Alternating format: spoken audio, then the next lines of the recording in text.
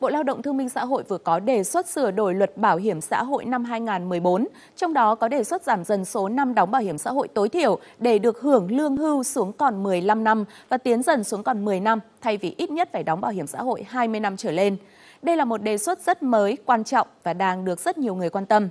Theo đánh giá của cơ quan đề xuất, luật bảo hiểm xã hội năm 2014 sửa đổi đang được xây dựng theo hướng giảm thời gian đóng bảo hiểm xã hội để người dân sớm được nhận lương hưu khi đủ tuổi, nghỉ hưu là phù hợp với thực tế và nhân văn. Nếu đề xuất này được thông qua sẽ tạo ra một sự thay đổi lớn, đó là có thể khuyến khích người lao động duy trì bảo hiểm xã hội đủ thời gian để nhận lương hưu thay vì nhận bảo hiểm xã hội một lần, đồng thời giúp người lao động tự do sẽ mặn mà hơn với việc tham gia bảo hiểm xã hội tự nguyện. Nhiều ý kiến cho rằng phương án giảm dần số năm đóng bảo hiểm xã hội là hợp lý, vừa để hạn chế tình trạng người lao động nhận bảo hiểm xã hội một lần, vừa giảm gánh nặng an sinh xã hội trong tương lai nếu người dân nào cũng có lương hưu.